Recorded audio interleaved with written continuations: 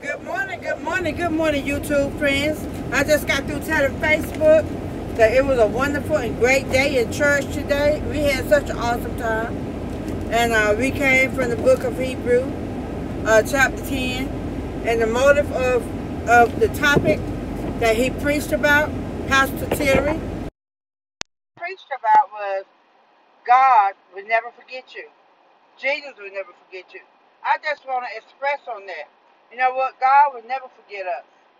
He always got us in the palm of his hands.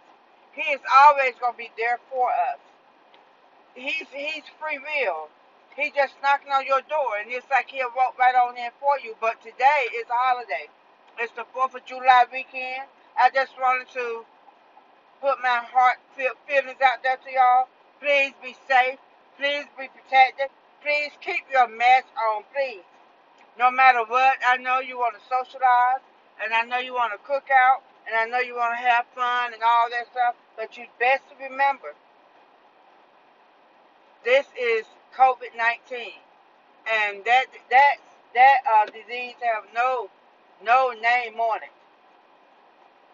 You know what? Uh, it's just like you know already know that it has attacked the whole world.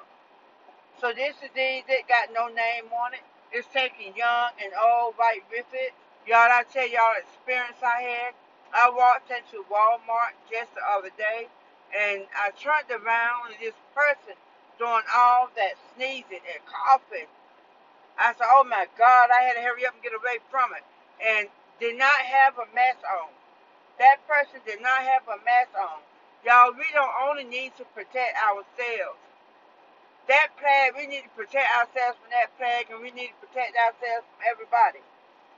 We standing on God's words, and we we gonna stay strong, and we gonna move along. This is a new norm. I know we are not used to th- things like this, and I know we've never seen like nothing like this in our entire life, especially since 45 came up there. But you know what? We got to use our heads. We got to stand on God's word. We got to stay in His Word. We got to concentrate on what's going on, y'all. We got to stay up with the news. We got to stay focused. And you know what's more important? We got to get out there and vote.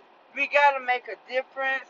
Our young people has got to make that difference as well as the old people. But right now, I'm talking about this is 4th of July. This is the strangest holiday I've ever spent since I've been on this earth.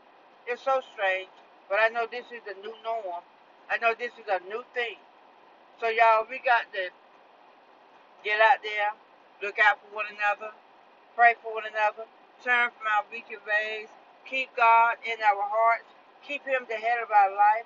Yes, be safe, protect each other. Have a great day. Have a good time. Enjoy your 4th of July holiday. This is Minister Settles. To God be the glory. Peace and out. Thank you so much.